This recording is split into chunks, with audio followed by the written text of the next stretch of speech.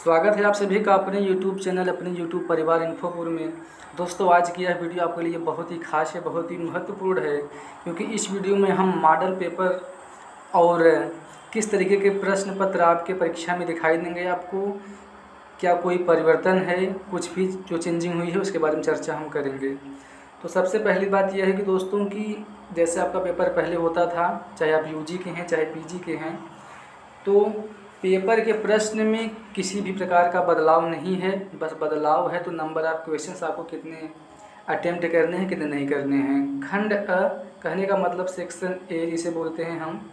Section A में क्या होगा कि जितने भी प्रश्न होते हैं आपको, सबको करना क्या होता है? कंपलसरी होता है।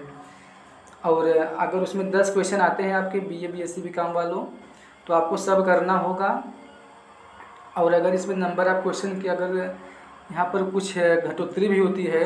तो अगर कहने का मतलब है, दस से अगर पाँच क्वेश्चन आएँगे इस बार, जहाँ तक संभावना है पूरी तो आपको पाँचों क्वेश्चन करना होगा। खंड अ, में उसके बाद खंड ब, कहने का मतलब सेक्शन बी में पहले पाँच प्रश्न पाँच प्रश्न होते थे और इसको उत्तर देना होता था आपको 200 शब्दों में।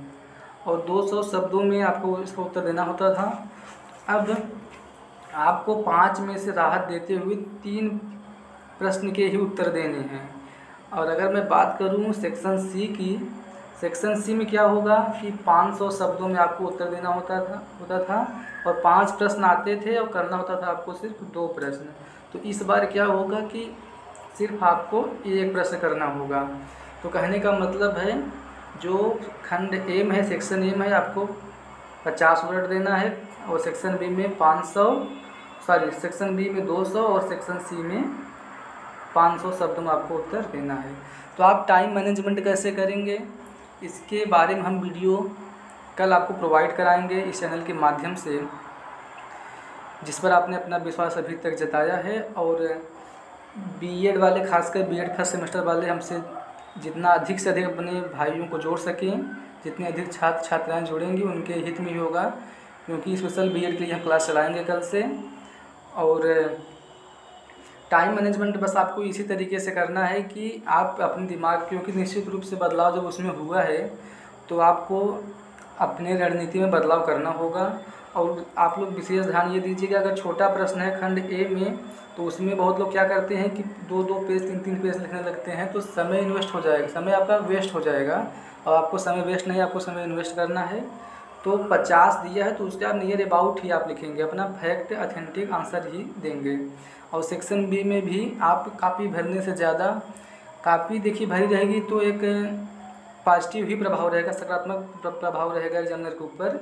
लेकिन आप जितना अथेंटिक देते हैं आपको कम से कम हेडिंग्स याद रहनी चाहिए।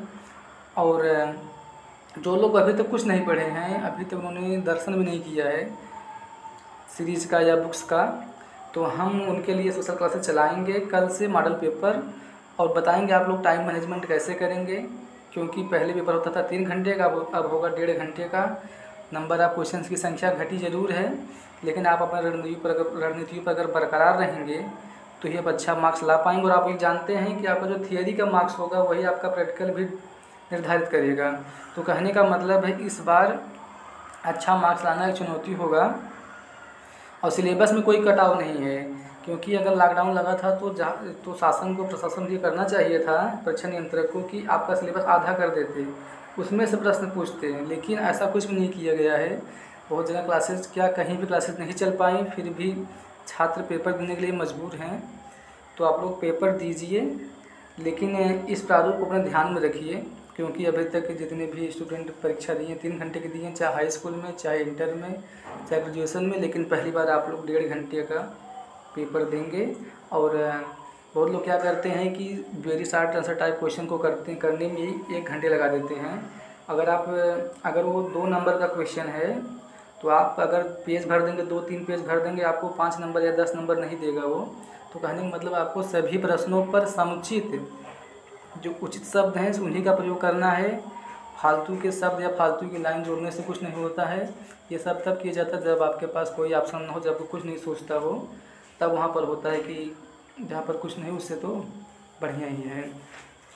आशा कर तो आपको वीडियो पसंद आई होगी और ख़ास कर बी एंट्रेंस वाले बी फ़र्स्ट सेमेस्टर वाले, आपका जो चारों पेपर है बीएड वालों, आपको जो चारों पेपर है, हम उसका भी आपको अध्ययन कराएँगे और जो मेन मेन टॉपिक होते हैं, खासकर जैसे कि असेसमेंट फॉर लर्निंग आपका जो पेपर होता है फोर्थ पेपर उसमें हम आपको जो मैथमेटिक्स का पार्ट होता है, जैसे कि आपका मीन मोड मीडियन मोड जो निकालना होता है, उसके बारे में आपको हम बताएँगे और आप अधिक से अधिक मार्क्स गेन करेंगे, हमारा पूरा विश्वास है। बस आप लोग चैनल को अपना प्यार देते रहिए और कल हम मॉडल पेपर आपको अवेलेबल करा देंगे। और आज शाम को ही हम राष्ट्र गौरव और पर्यावरण का आपको एक सीरीज़ चलाने जा रहे हैं, जिसमें कि चालीस क्वेश्चंस का सीरीज़ होगा। चालीस या पचास क्वेश्चन के सीरीज़ होंगे और आप, दस दिन अगर दे देंगे तो मेरा पूरा विश्वास है कि